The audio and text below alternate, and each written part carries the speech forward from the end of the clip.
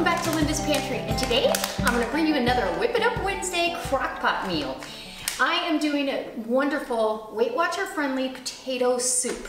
And um, this is a collaboration that we're doing every week throughout the winter. This cold weather, it's always great to have a crockpot meal at the end of the day. It's all warm and inviting and smells wonderful when you come home.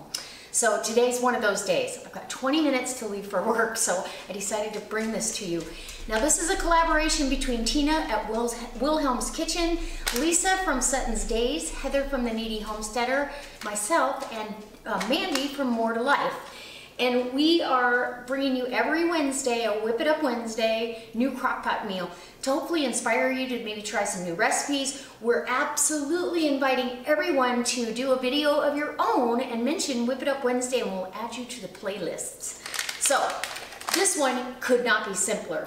You are gonna need a package of country gravy. Now, I get the sausage flavor um, just because I like it that way. You need a quart of chicken stock. This is out of my home canned pantry. This is chicken bone broth. Um, or you could use vegetable stock if you like. You can get it, you know, out of the carton. Uh, you're gonna need uh, a bag of O'Brien potatoes, but I'm not kidding you, I went to two stores and they had none, none.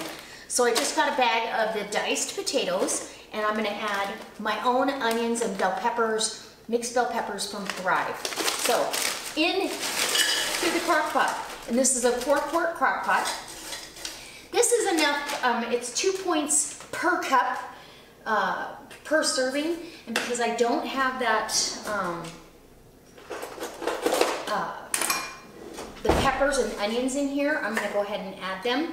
But let me bring you in close so you can watch the rest Okay, so first you're gonna get your gravy. I've got my potatoes in the crock pot and you put them in there frozen. You don't have to thaw them first. This is probably the easiest meal I make. In a half a cup of water, go ahead and mix up your gravy with a whisk.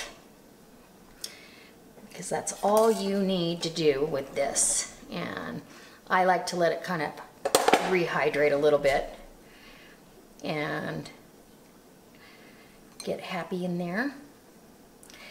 And you could use, um, if you wanted to, you could use an additional bit of vegetable stock or, or chicken stock, either one. So take your, ooh, nice seal, pop that lid, go ahead, and I'm putting this crock pot on low um, because it's gonna go all day till I get home from work. So, and what happens is the potatoes break down and become absolutely delicious and creamy and it's just a really wonderful soup. And as you can see, there's plenty of liquid in there. Let's go ahead with our gravy mix and get as much out of that bowl as you can because you paid for it. And then we'll add our peppers and onions and we're done. Easy is that? You could put this on high for a couple hours and it'd be done or you can put it on low. I'm gonna leave it all day long so it, it will be here when I get home. And okay, so onions, I like lots of onion. So I'm putting a half cup of, or almost a half cup, not quite, about a third of a cup of Thrive chopped onions and a half a cup of the mixed bell peppers from Thrive as well. And let's take a look and see if I think I've got enough peppers in there. Oh yeah, that's gonna be fantastic. Oh my gosh, okay. So I will meet you back here when this has had a chance to cook all day long and we get a nice warm bowl of potato soup. Weight Watcher friendly potato soup. All right, lid on, and I'll be back. Okay guys, so I just got home and this is done, obviously. I've got it on warm now, but look how thick this gets. It's just fantastic. And I'm excited. Now, you could add meat to this if you wanted, but I wanted you to get the original recipe and you can vary it any way you want. You could put sausage in here, that would be delicious. You could put ham. You could add cheese in here if you wanted. I have done this and added a half a block of cream cheese and a half a cup of cheddar, and it's phenomenal. So I'm just gonna dish it up the way it is. And, ooh, look at, look at, look at, look at that. Yum. Who doesn't love a warm bowl of potato soup? Oh my gosh. I do. Okay, I'm gonna get this out of the way for you so I can keep the soup in the picture, right?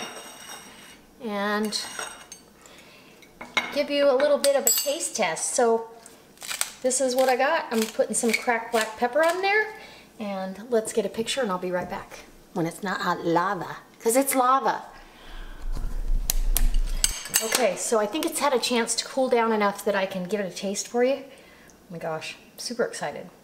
You got the peppers, the onions, um, the potatoes, and the stock and the gravy. Mmm. Mmm. Oh, it's still hot. Mmm. It's so good.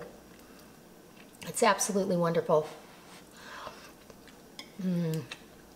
Absolutely. Now, if you use just a plain white country gravy, it comes out a little bit creamier looking, but I like using the sausage. It gives a little more flavor. It's totally up to you. Or you can use the peppered gravy. That works well too. Anyways, a cup of this is two points. And guys, oh, I can't wait.